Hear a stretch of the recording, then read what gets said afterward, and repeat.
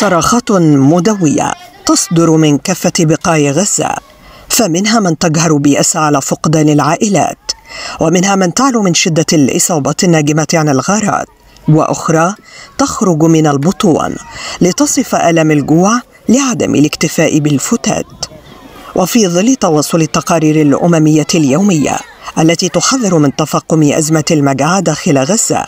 جراء حرب التجويع التي يمارسها الاحتلال بمنتهى الوحشية على سكان القطاع.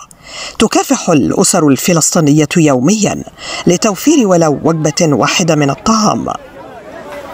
داخل فصل صغير في إحدى المدارس التي تؤوي مئة نازحين تجلس أم فلسطينية تحاول استخدام وسائل بدائية لإعداد وجبة صغيرة من الطعام المعلب لتهدئة أفواه صغيرة تصرخ من ألم الجوع الوضع طبعا سيء شوية لأنه ما فيش يعني الواحد ما بقدر يوم يوم بده يأمن قوت لأولاده أكل شرب.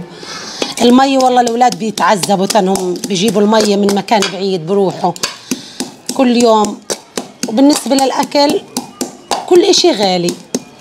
أي حاجة بدك فلوس هالقد عشان تشتريها والأولاد بدهم كل إشي والله بيعلم زوجي قاعد والأولاد هايم شباب مش لاقين إشي يشتغلوا فيه أصلا. على أعتاب المجاعة هكذا وصفت الأم الفلسطينية التي تسعى منذ اللحظات الأولى للصباح الباكر حتى نهاية الليل وبشكل يومي عملية البحث عن طعام قد يهدئ من روعة جوع عائلتها. إحنا أكيد على أبواب مجاعة يعني غزة أكيد على أبواب مجاعة.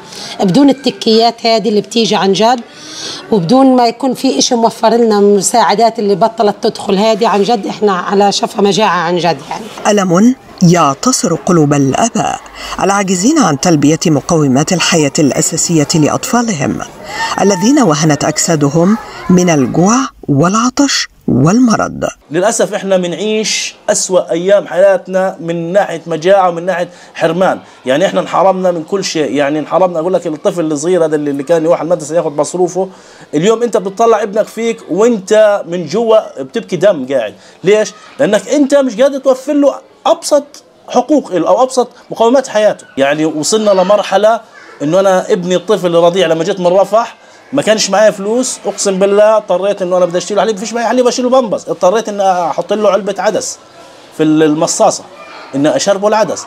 وغير المشاكل الصحية اللي قابلت وكذا. أنا يعني الواحد ما بهلوش في ابنه بس مش طالع في إيده حاجة. إحنا صرنا كل واحد منتظر شهادة الوفاة تبعته بالاخر يعني إذا ما كانتش من من قصف من قتل من كذا ممكن تصير من مجاعة من قلة أكل. يعني الواحد كان مثلا وزنه 100 120 أو 90 اليوم خسف نص وزنه. لم يستشهدوا من القصف ماتوا من شدة الجوع هكذا حاصر الاحتلال الإسرائيلي المدنيين العزل من كبار وصغار بين حرب إبادة وأخرى للتجويع